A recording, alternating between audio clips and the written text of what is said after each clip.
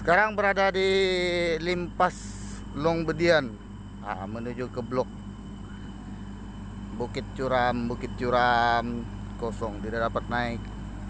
Aduh. Tidak dapat naik.